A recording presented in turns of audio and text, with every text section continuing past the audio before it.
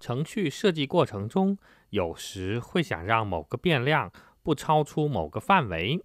可以使用约束函数 constrain 它的句法为 constrain（ 括号 x min max），其中 x 是想要约束的变量，min 和 max 分别为约束范围的最小值和最大值。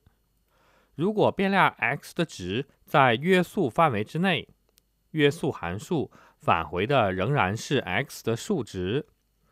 一旦变量 x 的值大于最大值，则函数返回的是最大值 max；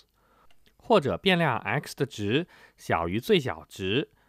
函数返回的是 min。举例来说，有整形变量 c c 等于五百，对于以下不同的操作。结果将有所不同。